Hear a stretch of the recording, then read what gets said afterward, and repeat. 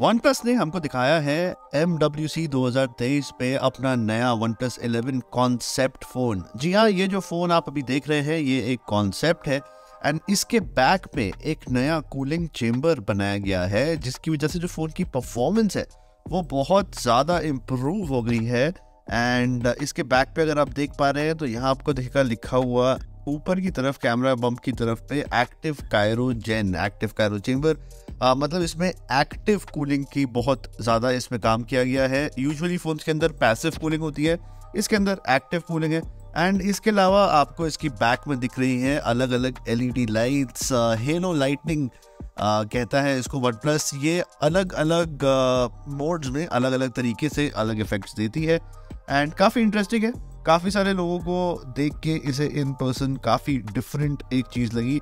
इसके अलावा जो इसका बैक है वो एक क्लियर फ्लो कवर के हिसाब से बनाई गई है एंड जो माइक्रो लिक्विड जो है इसके अंदर वो जो फ्लो रहा होता है तो वो आपको डेफिनेटली इजीली यहाँ पे दिखता है।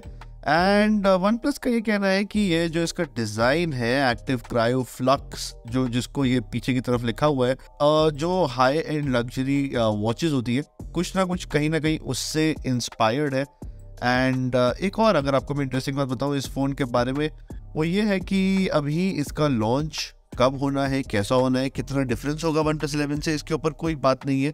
ये सिर्फ़ एक कॉन्सेप्ट है as of now and India में कब आएगा, क्या प्राइसिंग होगी, इसके बारे में जैसा ही पता चलेगा, हम आपको डेफिनेटली अपडेट करेंगे। बट डिफरेंस क्या है इसमें? आई थिंक प्रोसेसर बिल्कुल सेम रहने वाला है रैम सेम रहने वाली है। Everything else is to be the same जो डिफरेंस है वो ये है कि इसके अंदर आपको एक मल्टी लेयर स्ट्रक्चर मिलता है लिक्विड कूलिंग का। इसके अलावा आपको एक माइक्रो uh, पंप मिलता है जिसकी वजह से जो गेमिंग पीसीज के अंदर कूलिंग होती है वो आपको एक छोटे से फ़ोन के अंदर मिल जाती है। एंड uh, जो बॉडी है ऑफकोर्स वो यूनी बॉडी है। यूनी बॉडी ग्लास की बनी हुई इसकी बॉडी है। सो so, काफ़ी इंटरेस्टिंग है। एलईडीज़ हैं लाइट्स हैं। हमने ये सारी चीज़ें uh, और स्मार्टफोन्स के अंदर भी देखी है। तो क्या आप over the one plus eleven या वन प्लस इलेवन आर ऐसी बैग को प्रेफर uh, करेंगे?